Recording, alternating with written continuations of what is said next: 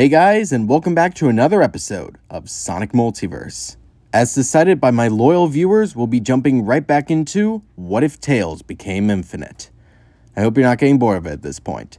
Anyway, let's jump right in. Soleanna, the City of Water, once governed by a constitutional monarchy, and now under the heel of Lord Eggman. This is where Silver the Hedgehog and Blaze the Cat now find themselves. They were both here to destroy the Death Egg in Wave Ocean, but before they could begin their assault, they had to come up with a plan. Hmm, maybe if I attack the West Wing, you can break into the Death Egg from the east. I'm not going to let you fight an entire army alone, Silver. Besides, there's no guarantee there won't be guards on my end as well. Eh, you're right. Well, maybe if we do an all out attack, we'll most definitely be overrun. Yeah. Do you have any ideas? Well, if the soul emeralds weren't extinguished, I'd be able to turn to Burning Blaze and enter the Death Egg without any issue. But in their current darkened state, it's too dangerous to try. If only I could figure out how to fix them. I'm sure you will, Blaze. Until then, I'm sure we can find another way to break into the. But before Silver could complete his thought, the pair heard running and clanking of metal in the streets below. Commanders Cubot and Orbot, with a battalion of egg pawns, were in hot pursuit of a lady in a white dress. All right there, rebel scum, or we'll have to shoot you. Cubot, remember your manners. Princess of Soleanna, please halt, or we will have to shoot you. My father's kingdom will not fall to the likes of the Eggman Empire, and I will not back down.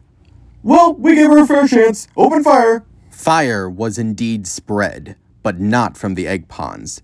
Blaze leaped off of the rooftop with Silver and destroyed all of the egg pawns. Cubot, I think it's time for us to make a tactical retreat. No time for that! Let's get out of here! And with that, the two robots ran off to safety. The princess ran over to the rebel heroes. Thank you both so much. I thought I was done for. All in a day's work, ma'am. Er, your highness. Please, my title may be princess, but you may call me Elise. I take it you two are part of the resistance? Blaze nodded. Yes, we're looking for a flying fortress known as the Death Egg. Have you heard of it? Elise seemed to flinch a bit at the mention of that Death Egg, but recomposed herself. Yes, I've heard of the Death Egg.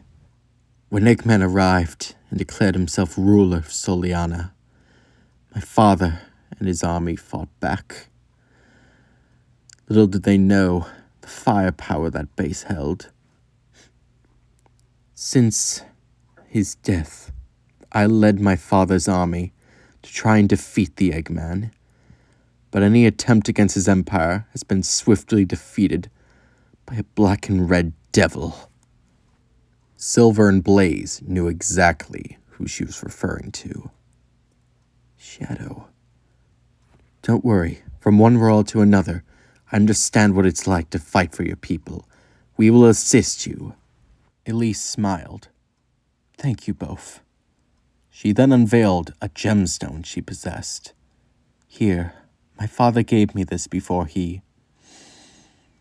He, he said it was a good luck charm. Right now, I think you two could use it. It was no mere lucky charm. It was, in fact, a Chaos Emerald! But it seems duller than usual. Curious. It seems that whatever's affecting the Soul Emeralds must be having a similar effect on the Chaos Emeralds. Still, I'm sure it'll help us. Thank you, Your Highness. We won't let you down. We promise that we will save your kingdom from the tyranny of Eggman. With that, the pair of heroes set off to track down the Death Egg. Elise raised her arm. Good luck, you two. Godspeed. As the pair raced towards Wave Ocean, Silver couldn't help but comment. Hey, Blaze, does all this feel familiar? No, it feels perfectly normal to me. Eh, it's probably just a time travel thing. We can worry about deja vu later, Silver. Now, I think I've come up with a strategy for us to break into the Death Egg. First, we need to. As the heroes conversed, they didn't notice a mysterious figure watching them from a distance. Elsewhere, Amy Rose and the rookie were breaking into the Death Egg looming over Lost Valley. They didn't have time to be stealthy as they quickly made their way towards the prison hall. Security tried to stop the rebels, but they were quickly destroyed by Amy's Pico Pico hammer. She wasn't about to let anything stop her from saving Sonic. The rookie made sure just to stay out of her way. All right, Sonic should be around here somewhere. The rookie signed, asking how she knew. Well, let's just say I have a lot of experience tracking him down. A weak voice came across the room. you got that right, Ames. There was Sonic, shackled and beaten, but his spirit still hanging on. The heroes ran over to the cell. Amy was overjoyed to see her darling Sonic in one piece, while the rookie attempted to put in as many codes as he could think of, trying to unlock the cell. But before he could find the correct code, a large thud could be heard behind them. You two made a grave mistake coming here. Now, die at the hands of Zavok. Amy raised her hammer. She wasn't about to give up on Sonic after getting so close. Without a second's notice, the battle began between the Rose and the Zeti. As the combatants began swinging at each other, Zavok sounded more annoyed than engaged. Cease this nonsense. I've vanquished hundreds of foes stronger than you before you were even conceived. You don't stand a chance, child. Zavok's words were cut short as Amy smacked him right in the skull. She continued wailing on the Zeti, blow after blow from her Pico Pico hammer. But these blows simply enraged Zavok as he finally lashed out, smacking Amy against a wall. Ugh. Perhaps I underestimated you, child.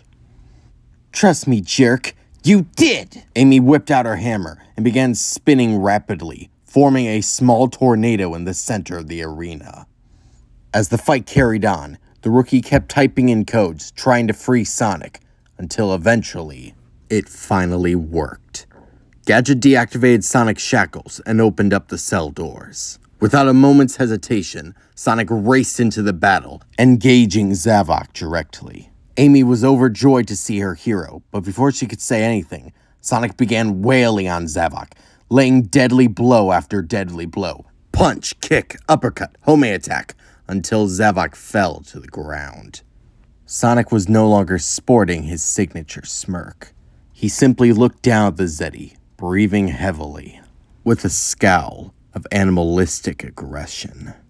This was personal. Amy had never seen this side of Sonic. S- Sonic? Sonic quickly snapped out of it. Ugh, sorry about that. Good to see you, Ames. And you too, pal. Glad to see you're doing well. The rookie smiled at this before gesturing towards the exit. Right, let's get everyone out of here, then blow this popsicle stand. And with that, they opened up the rest of the cells, leading the rest of the resistance prisoners all the way to the exits before blowing the death egg to smithereens.